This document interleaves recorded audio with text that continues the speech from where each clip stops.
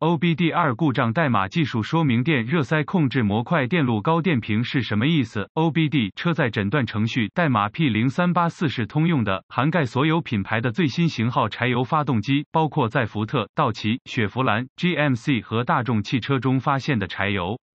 要了解此代码的重要性、其后果和症状，重要的是了解工作中的动态。与传统的燃气发动机不同，柴油发动机不依靠压缩的燃料混合物和点火电源即可工作。柴油比汽油发动机具有更高的压缩比，这种高压缩力导致气缸中的空气达到六百度以上，足以点燃柴油。当活塞到达气缸的上止点时，高压燃油喷入气缸。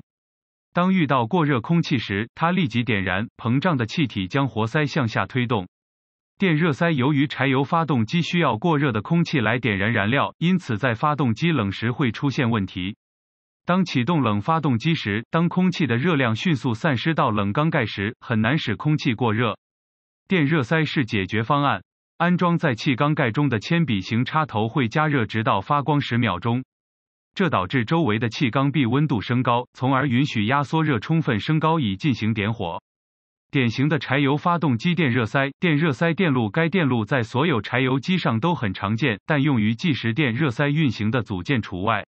车辆将配备电热塞控制模块，或者 PCM 将执行此操作。代替维修手册，只需致电汽车配件商店，并询问他们是否出售控制模块。如果不是，则计算机控制时间。电池检查电池是否充满电。气缸中的压缩空气仅保留其热量一秒钟，因此发动机必须迅速翻转。电热塞继电器外观类似于远程启动继电器，通常位于启动继电器旁边。两者不可互换，因为电热塞继电器根据设计可处理更高的安培数油温传感器 PCM，使用该传感器感测电热塞的时间和持续时间。电热塞保险丝点火开关向电瓶供电。当 PCM 计算机为地面供电以致动电热塞继电器时，或者在模块计算机的情况下，它将为地面提供电热塞控制模块或 PCM 操作原理。当点火开关打开时，它将为电热塞继电器供电。计算机或控制模块将为继电器提供接地以使其启动。决定因素是机油温度传感器。当计算机感应到引擎冷时，它将通过提供接地来制动控制模块或继电器。激活后，继电器将为电热塞供电，持续时间由计算机或控制模块确定。如果车辆具有控制模块，则只需向继电器提供定时接地即可。它将有一个保险丝电源，并且计算机会为接地提供电源。当 PCM 动力总成控制模块通过电热塞控制模块电路检测到高电路状态时，将设置 P 零三八四代码。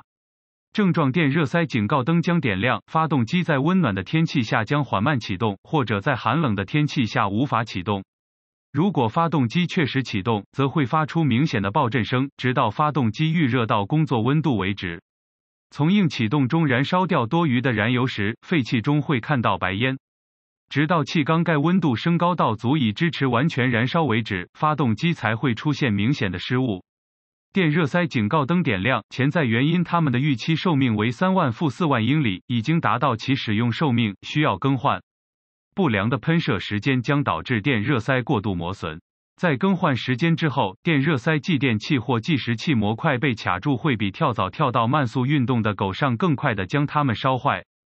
诊断步骤和可能的解决方案：首先，检查电池是否充满电，检查接线是否有问题。